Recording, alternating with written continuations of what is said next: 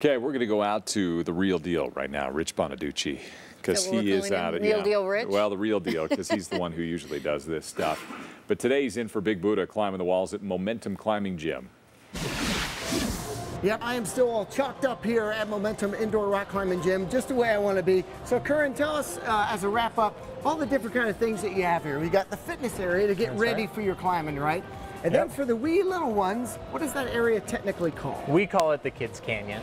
Kids Canyon. Yeah. Which is really super cute. All the handholds are in these really fun colors and shapes for the kids to grab onto. And that's the bouldering area right there. That's right. Where So we had our uh, we talked to Nathaniel in the bouldering area. Yeah. We had our top rope zone back here where you had your first rope climb of the day earlier this morning. and it was awesome.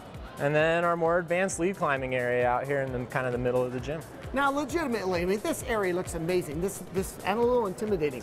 Uh, as a beginner person, say I like just start. How long do you think it would be before I get to do something like this? You know, that's really up to you. Some people just get hooked on this and they're just in here four or five days a week right away and it goes fast for them.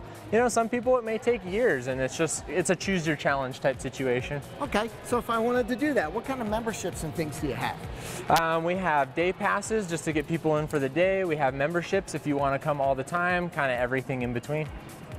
And this just looks really cool. This is awesome. Of course, the layers and all that. So Yeah. again, keep that in mind because you can go here and be totally safe and have a great time at Momentum Indoor Rock Climbing Gym.